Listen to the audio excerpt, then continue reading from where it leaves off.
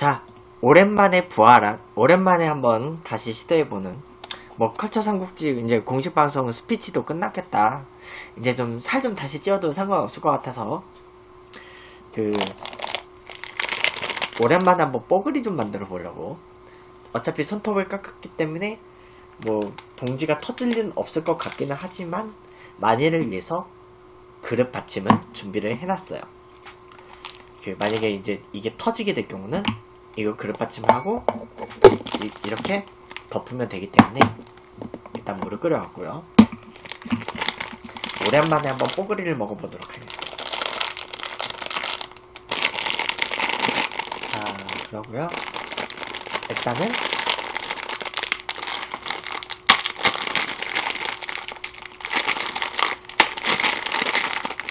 이렇게 비슷하게 4등분을 할, 할게요.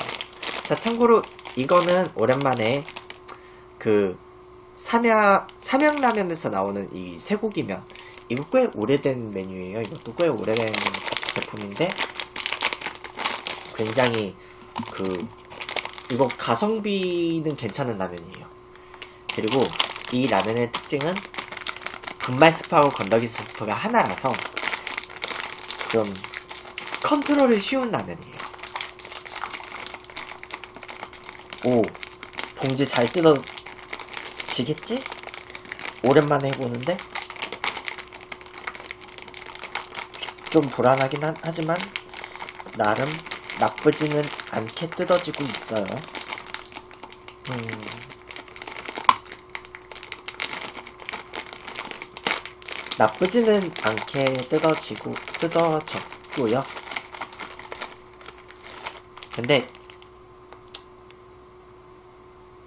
원래는 뽀글이를 이렇게 봉지 안에 넣고 이제 묶어, 묶어서 먹는 건데 아 그러면 이게 봉투가 많이 오염이 될 텐데. 뭐 일단은 한번 시도는 해볼게요. 그리고 만약에 요 밑에 구멍이 뚫리는 경우가 발생하게 된다면 저는 그냥 모든 것을 포기하고 그냥 이 그릇에다 이식을 해야 돼요 오랜만에 해보는 뽀글인데.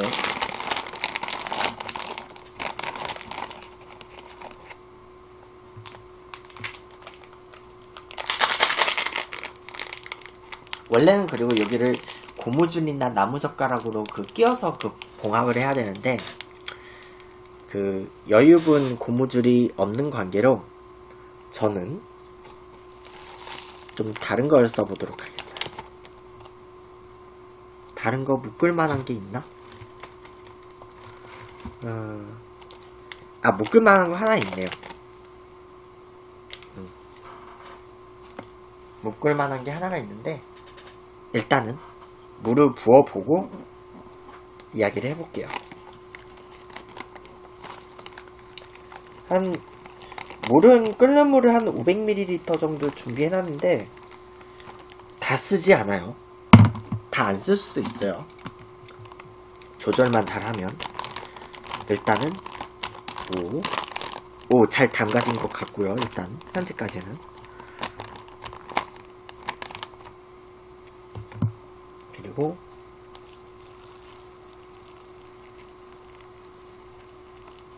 딱 잠기는 선까지만. 근데 거의 다 부어버린 것 같아, 물을. 어차피 물을 좀, 그, 한번, 예, 그냥 다 부어버려. 아니, 방송 중이니까 말은 해야지. 방송 중이니까 말은 해야죠. 그리고, 자, 고무줄이 없기 때문에, 일단은 이걸로 묶을 거예요. 이거를. 아, 근데 좀 생각보다 물, 물이 좀 많긴 한데, 오랜만에 한번 먹어보는 뽀글이라서. 아, 내가 이거 따를 때 물을 좀 옆으로 흘렸구나. 밑에서 국물이 샌 거는 아니고요. 음, 넘치는 건가? 에이씨. 원래는 완전히 봉, 봉인을 해야 되는데, 묶을 수가 없겠네요. 물을 생각보다 너무 많이 넣어가지고 묶을 수는 없고 그냥 이 뚜껑으로 봉인을 할게요. 이렇게 봉인. 그러면 잠깐만 이거를 이렇게 접어놓고 아 이러면 안 되겠구나. 에이씨 아깝다. 그냥 이렇게 덮어야 되겠다. 안 넘치게끔 덮어만 놓고 아 배고파서 결국 뽀글이 꺼냈어요. 지금 봉지라면 뽀글인데 원래는 고무줄 그 고무줄이나 나무젓가락으로 껴서 묶어야 되는데 이렇게 봉인해놨어요. 이렇게 봉인해놨고요. 이거 커피포트만 좀 갖다 놓고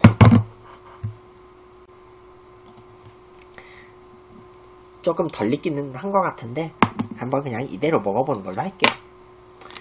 자 일단은 한번 좀 어느 정도 저어놨고요.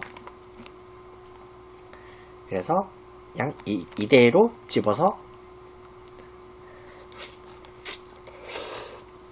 음 지금 괜찮아요. 왜냐면 넌지 꽤 됐어요. 넌지 꽤 돼가지고 음, 꽤 먹을만 한데요. 그래서, 이,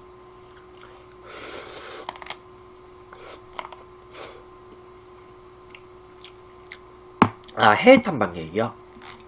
해, 네, 해외 탐방 계획은 아직이요. 음.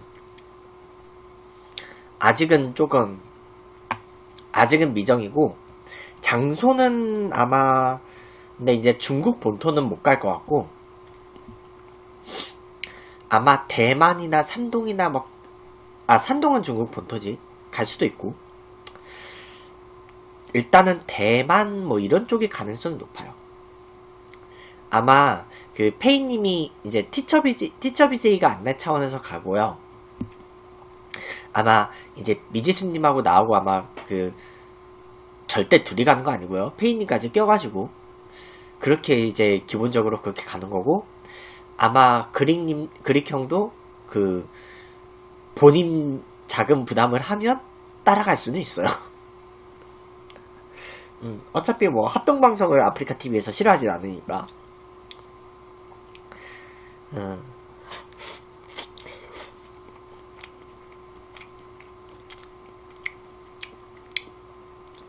그리 하고요. 음. 그래서 아마 2박 3일에서 3박 4일 정도 짧게 갔다 올 것 같아요. 음, 더, 서로 바쁠 거니까. 그때 한번 갔다 올 것 같고. 그래서 이제 날짜를 아마 정해야 될 것 같기는 해요.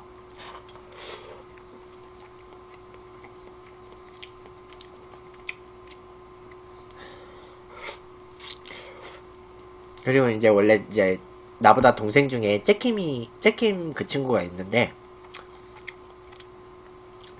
그 친구는 이번에 그 취업을 하면서 하차했거든요. 취업을 하게 되면서 하차를 했는데 그래서 나중에 또 같이 밥 한번 먹기로 했고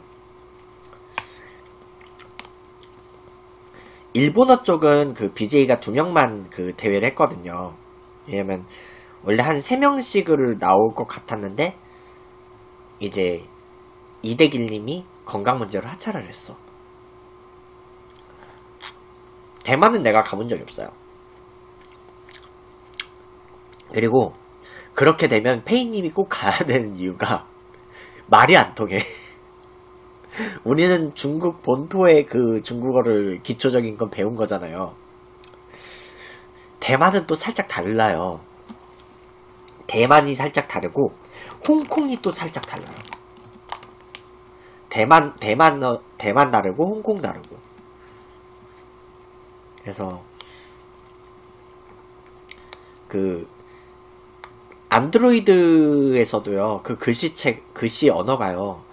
네 태블릿에서는 그냥 중국어 하나밖에 없는데 이 스마트폰에서는요 중국어 간체가 있고요. 그 대만게 있고 홍콩게 있더라고요. 그래서 제가 페이님한테 물어봤죠. 그 글씨체 어떤 거 받으면 되냐고 폰으로 쓸 때. 근데 참고로 저는 아직 폰으로는 그 폰으로는 그 키보드에 병음 따라서 써야 되거든요. 그 키보드 쓸 때는 그 병음에 따라서 써야 되는데 솔직히 내가 아직 병음 시스템 오히려 미지수님이 처음에 병음으로 연습을 했었다가 처음에 좀 많이 힘들어했는데 이 컴퓨터로 글 쓸 때는 병음이 필요하겠더라고요. 손으로 쓸 때는 그 간체로 바로 쓰면 되는데 컴퓨터로 쓸 때는 이제 키보드를 써야 되니까 병음이 좀 필요는 하겠더라.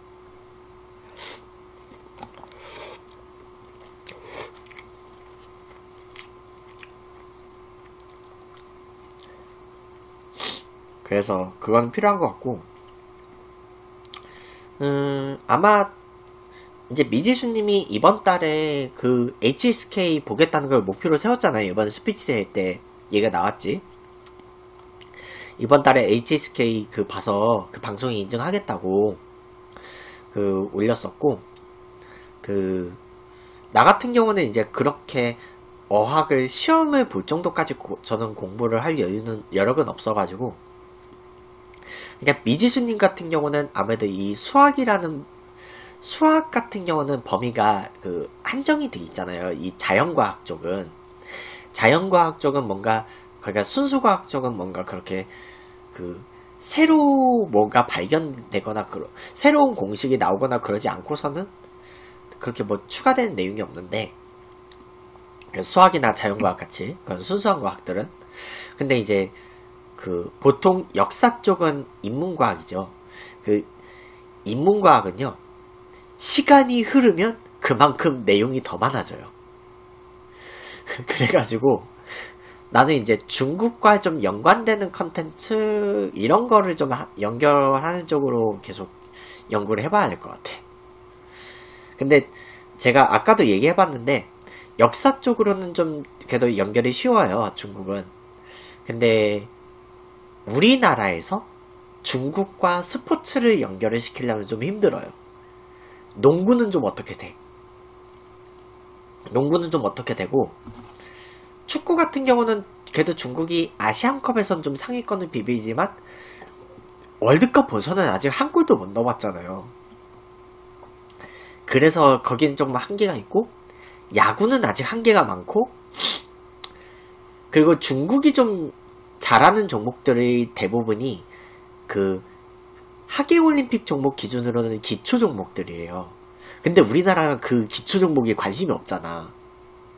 그래서 스포츠 쪽으로는 솔직히 아직 좀 연결이 힘들어요.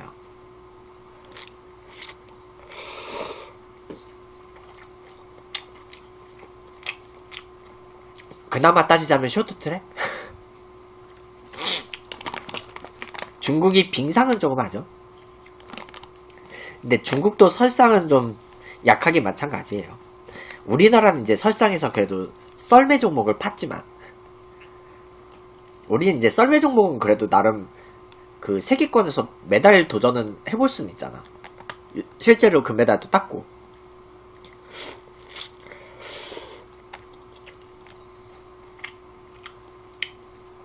그렇고요. 음, 그러니까 좀 비벼볼 수는 있는 그런 경쟁력은 갖췄지 이제 썰매 종목은. 뭐 스케이트 쪽은 우리가 이미 나름 상위권이고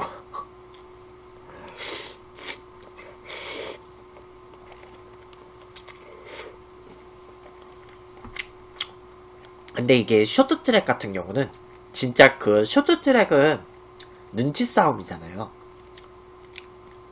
쇼트 트랙은 진짜 선수 개인의 스피드 역량보다는 그런 눈치 싸움으로 그 추월하고 그런 순간 폭발적인 스피드 내고 그런 게 그 중요한데 그래서 그 박승희 비- 그 박승희 리리아 자매님이 이제 지금은 선수를 은퇴했으니까 내가 박승희 리리아 자매님이라고 부르는 건데 그 선수 시절 때 쇼트트랙을 하다가 은퇴 전에 그 뭐냐 쇼트트랙에서는 국, 이제 국대에서 후배들한테 넘겼지만 그 우리나라에서 하는 올림픽을 뛰고 싶다는 생각에 스피드 스케이팅을 한번 참가를 하고 은퇴한 거잖아요. 근데 쇼트트랙하고 스피드 스케이팅은 애초에 운동을 하는 그 신체 부위가 달라요. 운동 방법이 달라. 진짜 대단한 거예요.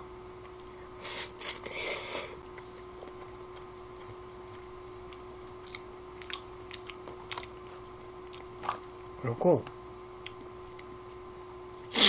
쇼트트랙은 스피드 더 순간 스피드 더하기 눈치 싸움이고 그래서 장거리를 보통 계주를 하잖아요 쇼트트랙은. 근데 스피, 스피드 스케이팅은 장거리가 있거든요. 5000m 1000m 있잖아 그리고 매스 스타트 있잖아요. 매스 스타트는 근데 좀 눈치 싸움이긴 해. 되게 웃겨.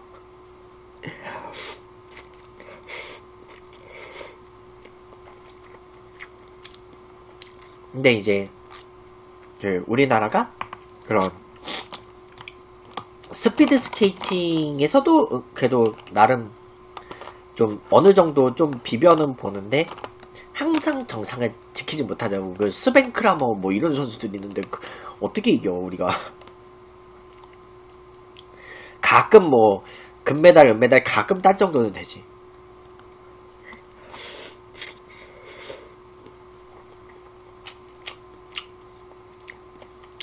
내가 오- 그래가지고 모르겠어요. 앞으로 좀 좀 연관 컨텐츠를 좀 해보고 싶은 생각은 있어. 아 참고로요. 레이맨은 일본어 버전이 있어요. 레이맨은 일본어 옵션으로 바꿀 수 있는데 그 중국어 옵션이 없어요. 언어가 총 다섯 가지가 있거든요. 그 미국식, 영국식, 그리고 원래 레이맨이 프랑스에서 나왔기 때문에 프랑스어가 기본이에요. 레이맨이 기본적으로는 프랑스에서 나온 게임이기 때문에 유비소프트 회사가 프랑스예요. 원래 프랑스어가 있고 그래서 프랑스어 그리고 아마 독일어일 거야. 프랑스어, 독일어, 그리고 영국식, 미국식, 그리고 일본어. 그렇게 다섯 언어를 지원을 하더라고요.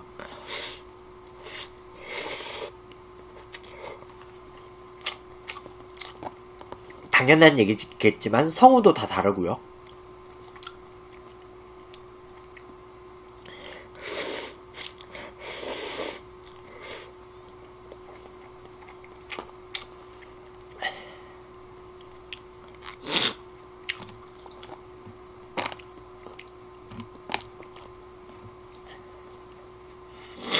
그래서 앞으로 또 그런 또 중국하고 연결되는 컨텐츠는 저는 꾸준히 할 예정이니까. 왜냐면 역사 컨텐츠는 계속 그 중국 관련 이야기를 하면 되니까 가끔씩. 저는 원래 세계사를 했고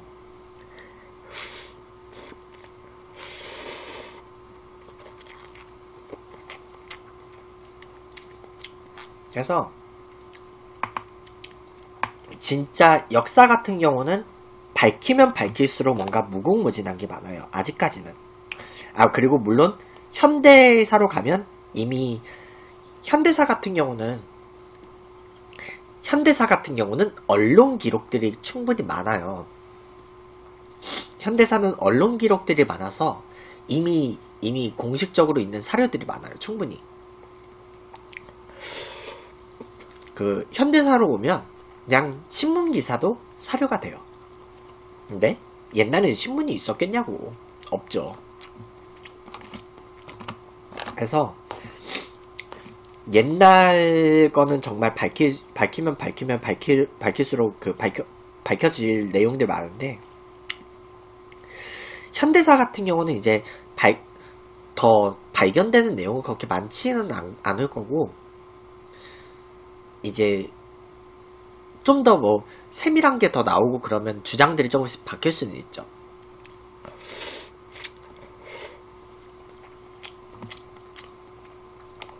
현대사는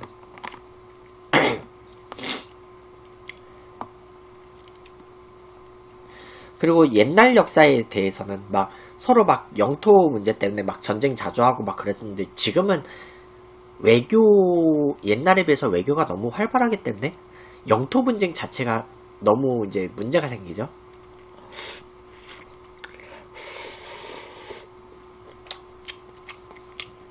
그리고 옛날에는 왕이 어디를 쳐라 하면 거기를 쳐서 영토를 넓히는 건데 지금은 오히려 영토와 관련해서 그 지역 주민들이 어느 나라의 영토가 되기를 원한다 그러면 그쪽으로 가는 거래요. 크림반도가 그런 케이스잖아요. 원래 최근까지 크림반도가 우크라이나 땅이 많았는데 러시아로 넘어갔잖아.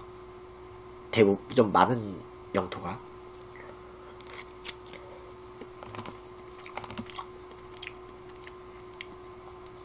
근데 크림반도가 러시아한테는 옛날에는 굉장히 중요했던 데예요. 그 동계올림픽 했고 월드컵 경기장 중에 한 군데였던 그 소치가 소치가 러시아에서 러시아에서 열 그 굉장히 따뜻한 지역이거든요. 남쪽 흑해 연안이어가지고 그 소치 그런 쪽을 러시아가 원했던 이유가 겨울 원래 러시아가 북쪽 바다 북극해잖아요. 북쪽 바다가 바다가 얼어버려요. 그래서 북쪽 바다를 겨울에 못 써요. 그렇다 보니까 동서남북으로 영토를 계속 넓혔던 이유가 부동항을 찾기 위해서. 그래서 남쪽으로 흑해, 서쪽으로 발트해, 동쪽으로 연해주까지 온 거예요.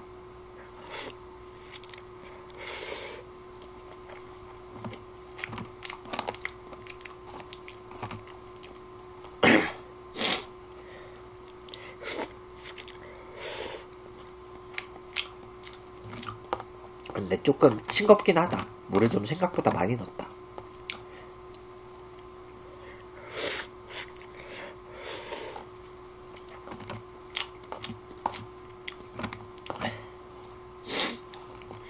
좀 면에 더 불릴걸.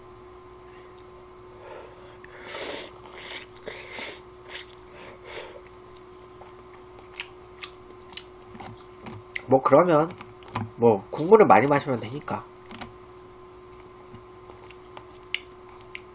국물을 한번 아니다 그릇 씻기 귀찮지?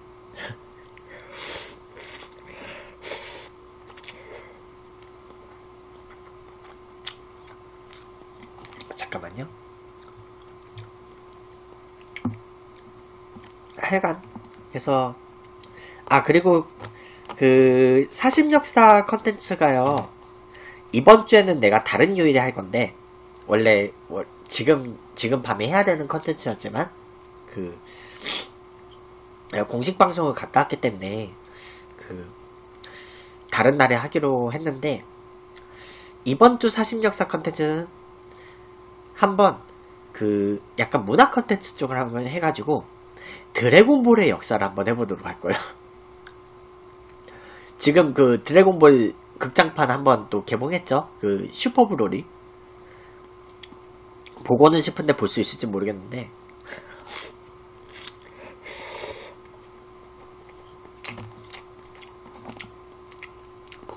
어쨌든 슈퍼브롤이 음.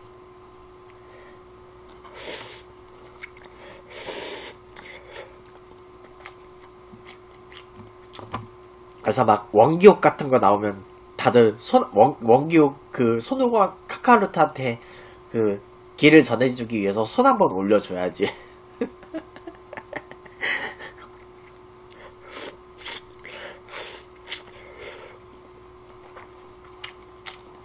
하여간 슈퍼 브로리 편. 한번 극장판을 보고 싶긴 해요.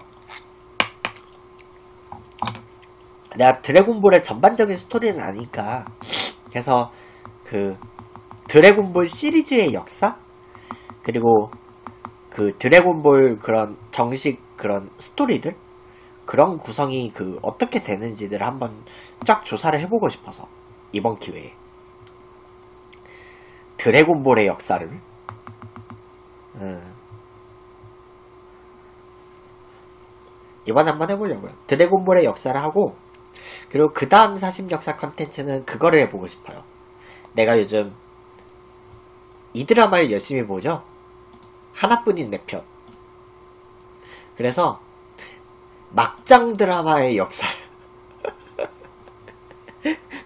드라마의 역사를 한번 타고 들어가서 어쩌다가 드라마는 막장이 되었나 그런 얘기를 한번 해볼 거예요.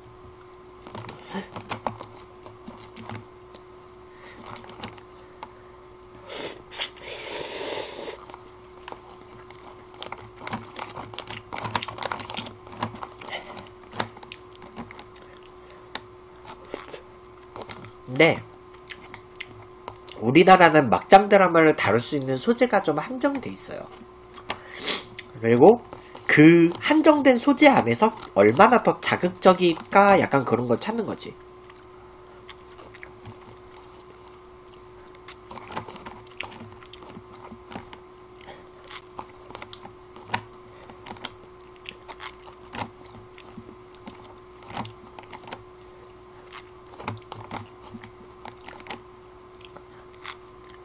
그런 거고요. 아 어제 맨유 본게, 중계보다 온 분이구나. 아, 네 반가워요. 그 오늘 같은 경우는요. 제가 이따가 5시까지 컨디션이 괜찮으면 입중계는 할 거예요. 왜냐면 화면하고 음성 송출은 안 돼요. 그 챔스 같은 경우는 중계 저작권이 없어서 이번 시즌이 그래요. 중계 저작권이 없어서 그 그래서 감스트님도 가끔 중계하고 싶은 경기 있을 때 입중계를 하시더라고요. 입중계는 허용이 돼가지고 그래서 입중계 같은 경우는 중계 소리하고 화면만 이 방송에 안 나가게끔 해가지고 그냥 같이 떠들면 돼요. 입중계 그냥 같이 떠들면 돼. 다른 거 없어요. 약간 그런 묘미가 있더라고요. 한번 해봤는데 재밌더라. 한번 해봤는데 재밌어가지고. 아, 근데 국물이 생각보다 많이 남았는데 마셔야 되겠죠? 음.